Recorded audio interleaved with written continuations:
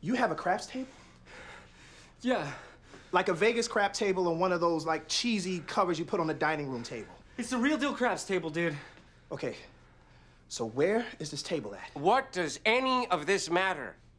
People have put down serious money on a real deal table. You want to buy it? No. Look, why would you go all the way down to Vegas to try and beat the house when you can just stay right here and be the house? He's got a good point. I mean, the house always wins.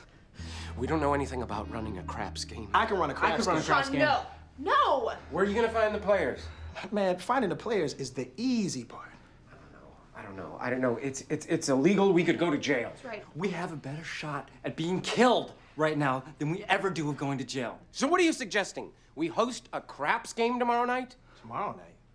Man, you can get a serious game going by 11:30 tonight.